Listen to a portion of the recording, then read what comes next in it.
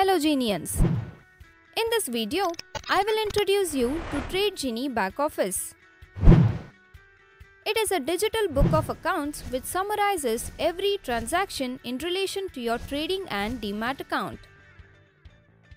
To visit the login page, enter i.tradejini.com in your browser. This is the login page.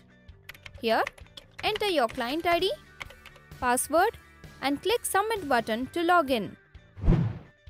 First time users can refer the welcome mail sent to the registered email address for login credentials.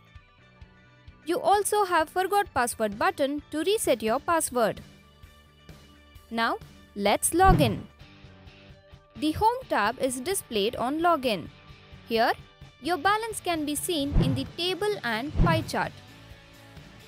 This tab is useful for a 360 degree view of your account with us. Next is the Portfolio tab.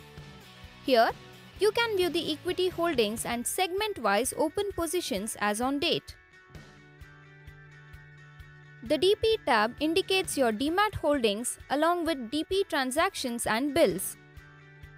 The Reports tab has six types of reports like Ledger, Trade Registry, Contract Note, P&L, Tax P&L, and Global Reports.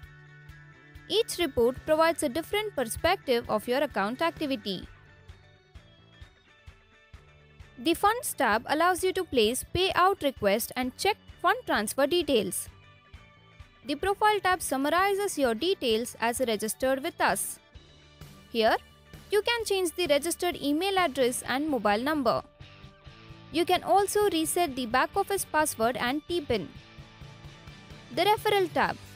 Here, you can add a new referral, check status of the referred clients, the referral amount earned, and referral payout details.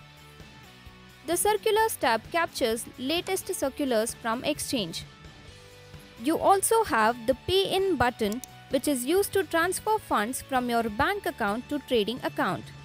Lastly, you can switch the appearance of back office in between black and white color. So that's it genians. Now I hope you have a basic understanding of our back office. And don't forget to subscribe and hit the bell icon to get notified for more interesting videos.